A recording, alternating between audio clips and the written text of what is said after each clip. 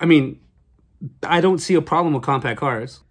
But you see, what the problem with the compact cars is not that, you know, they're, they're too small, but that they're too small for 20 plus clowns being stuffed together.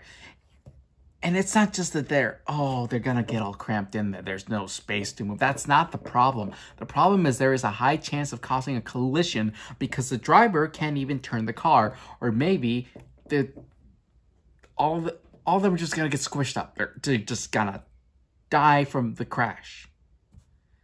And I'm not going to be the one who has to pay with the tax dollars for that. I'm not going to donate to any GoFundMe's or anything.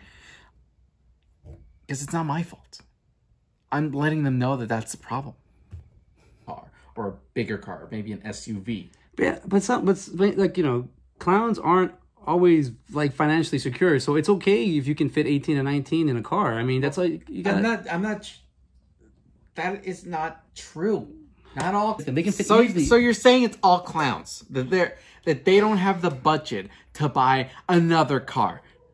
They could, it doesn't have to be a car. They could be on a bus for all I care.